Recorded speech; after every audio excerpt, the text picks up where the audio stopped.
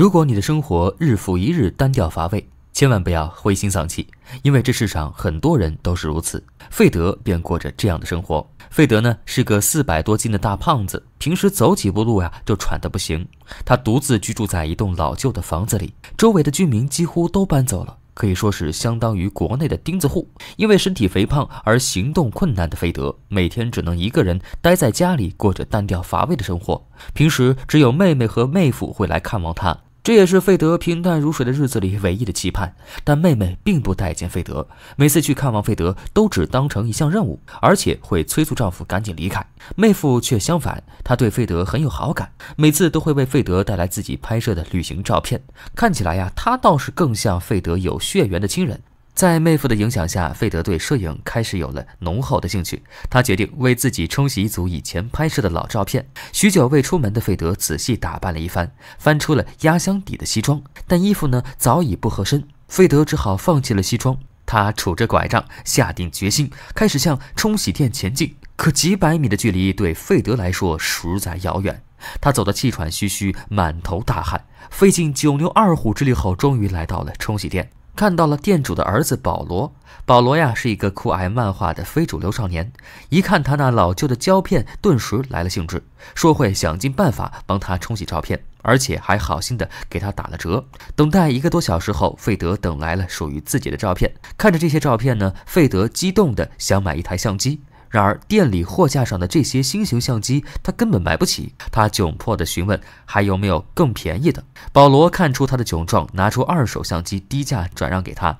拿着得来不易的相机，费德开始往回走。此时天色已暗，但费德的内心却充满希望。一回到家，他就迫不及待给相机充上电，爱不释手地把玩着，并拍下许多照片。这是他在孤独中找到的新乐趣。但二手相机啊，很快就出了故障。他不得已打电话去店里咨询，接电话的依旧是保罗，但他假扮成店主戏弄了费德，最后还挂断了电话。失落的费德打算自己修理相机，却没想到保罗主动上门来帮他修理。费德请他吃饼干、喝咖啡，在交谈中，他得知原来保罗也是一个性格孤僻、不善和人来往的人。在后来的日子里，两人越来越频繁的来往，保罗还将自己喜爱的漫画分享给费德。继相机之后，费德又开始沉迷于漫画，两人也成为了无话不谈的忘年交。费德会把自己最满意的照片拿给保罗看，但他那水准实在算不上叫做摄影。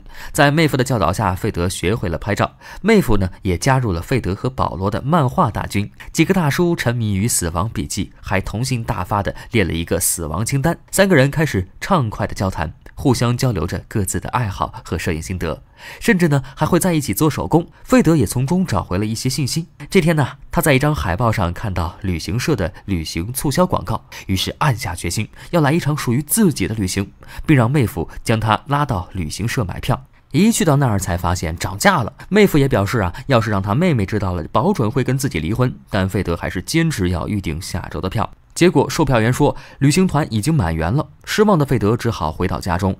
失去了旅行，费德的生活呀，似乎又回到了以前。他不甘心就这么放弃，于是悄悄离开家，打算独自去海边。但由于他体型过于庞大，没走多久就晕了过去。等他再醒来，已经躺在了医院。原来一年前，费德患上了心脏病，超负荷的运动压垮了他的心脏。医生警告费德不能再这样进行大量运动。出院回家的费德更加失去了生活的欲望，吃不下饭，连手工业也做不下去了。妹夫和保罗来看望他，他也提不起精神。